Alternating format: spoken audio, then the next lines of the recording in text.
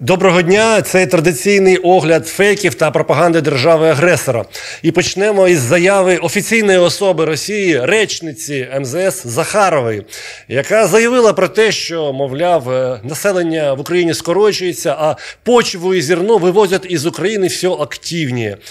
При цьому вона, по-перше, не згадує причини цих процесів скорочення населення, адже через війну багато українців були змушені залишити місце свого постійного проживання. Ну а маячню про те, що з України вивозять ґрунти, вже неодноразово спростовували на всіх можливих рівнях, оскільки це повна ахінея навіть не підлягає жодному коментуванню. Це повна брехня. Що стосується зерна, то якраз Росія зараз і блокує зерновий коридор, не дозволяючи українським виробникам аграрної продукції постачати цю продукцію для найбідніших країн світу, внаслідок чого світ знову постає на межу глобального голоду, як це було минулого року, що і змусило зрештою Росії піти на поступки і відкрити зерновий коридор. Е, йдемо далі. І ще один фейк з простому виконанні однієї з ключових осіб російського політичного олімпу, секретаря Ради безпеки Патрушева, який дав інтерв'ю газеті «Ізвєстія», наповнене фейками, зокрема починаючи з того, що мовляв, Америка хоче напасти на Сибір і мати там е, певні резерви на випадок виверження Єлоустонського вулкану. Але не про це мова, а про те, що виявляється за версією Патрушева, саме Америка напала на Україну. Україна требуется американцам только в качестве объекта нещадной експлуатації природних ресурсів без традиційного населення. Знову не згадую про те, що українці вимушені залишити Україну в зв'язку з агресією саме Росії, а ніякої не Америки. Следуя такой неонацистской линии, продолжил далі Патрушев, Вашингтон уже превратил ее в территорию, которую миллионы людей массово покидают, э, пытаясь найти за границей защиту от профашистських притіснень. Ну, Традиційний вкид про наявність нацистів при владі, тоді як самій Росії треба шукати у власних коридорах тих, хто сповідує цю людоненависницьку ідеологію. Ідемо далі, і дуже цікаве викриття того, як російські спецслужби за допомогою своїх агентів організували серію фейкових мітингів по Європі. Е, про це становило розслідування консорціуму журналістів. Зокрема, було встановлено, що російська влада організувала постановочні акції протесту з критикою Євросоюзу, НАТО та України в Парижі та Мадриді для прикладу взагалі використовували не просто плакати з однаковими гаслами, а повністю ідентичні плакати. Навіть шрифт був використаний однаковий, рукописний шрифт на цих плакатах. І гасла традиційні: НАТО хватить бомбить Донецьк, не передавайте оружие Україні, вона бомбить Луганськ і так далі, тому подібне. Ну, Мета цих вкидів зрозуміла це створити ілюзію, начебто, відсутності підтримки України з боку е, європейських столиць, які в свою чергу постачають нам потрібне озброєння для того, щоб протистояти російській агресії. Ідемо далі. І російські пропагандисти, зокрема, телеграм-канал Путін в Телеграмі, е, надав трибуну для одного з е, підзабутих вже в Україні політиків Геннадія Зюганова, лідера комуністичної партії, який закликав, як він стверджує, вісті настоящу війну з України. Тобто, те, що зараз відбувається, це не настояща війна.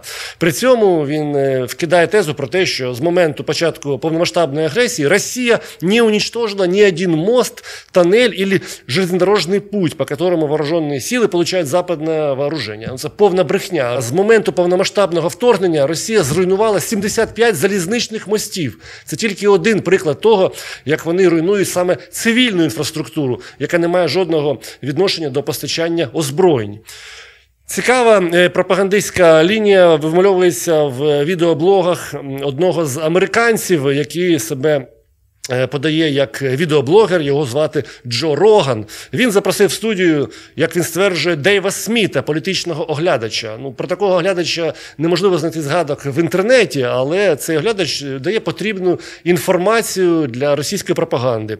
Путин начал спецоперацию на Украине, исходя из того, что это, тобто спецоперация, уже была сделана другой стороной. Они, напевно, Захід, Украину сделали частью блока НАТО, несмотря на то, что Украина официально не является членом НАТО. Ну, повна брехня, адже на момент повномасштабного вторгнення Україна, по-перше, навіть не мала статусу кандидата до членства в НАТО. А по-друге, на той момент законодавчо на рівні закону було закріплено нейтральний статус України, тобто повне використання фейків вхідів для того, щоб транслювати їх на глобальну аудиторію. Якщо ж подивитися, хто цей е, ретранслятор Джо Роган, який дав трибуну такому спікеру, то Джо Роган це людина, яка сповідує теорії змови, стосується вони, наприклад, зміни клімата. Е, він запрошував в ефіри так само імунологів, які заперечували важливість щеплення від коронавіруса, і навіть сам особисто е, пропонував лікувати коронавірус препаратом івермектином, який насправді є засобом проти глистів та інших паразитів, які нерідко дають коням. Такий от трибун російської пропаганди. Е, цікаво, як російська пропаганда трактувала успішний візит президента Зеленського до Нідерландів. Е, вони цитують е, лідера однієї з нідерландських партій Каролін Вандер Плас, яка була незадоволена саме датою візиту українського президента. При цьому жодним способом не згадують, що ж насправді заявила ця політкиня та очолювана нею партія. По-перше, е, ця партія підтримує передачі Україні винищувачів F-16. Це більше не є табу, стверджує вона. Ми будемо поступово виводити з експлуатації багато з них в найближчі роки. І очевидно, що Нідерланди роблять свій внесок з F-16, а союзники постачають танки, яких у нас немає. Так само вона, ця е, нідерландська політкиня, засуджувала Росію за агресію проти України і стверджує, що Росії доведеться залишити українську територію, щоб створити достатньо довіри для надійних мирних переговорів. Тобто жодних переговорів до того, як росіяни залишаються на українській землі. Ну і традиційний вже фейк, е, який навіть е, і не смішно коментувати про, начебто, участь України в якихось е, біологічних, біохімічних е, лабораторіях е, для створення біологічної зброї. Цього разу традиційно спікером є.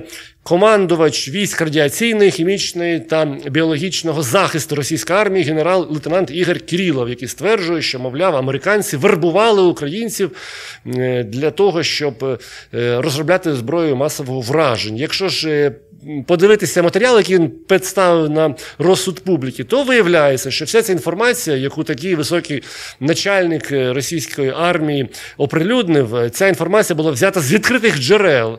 Е, при цьому ця програма стосувалася якраз нерозповсюдження ядерної зброї.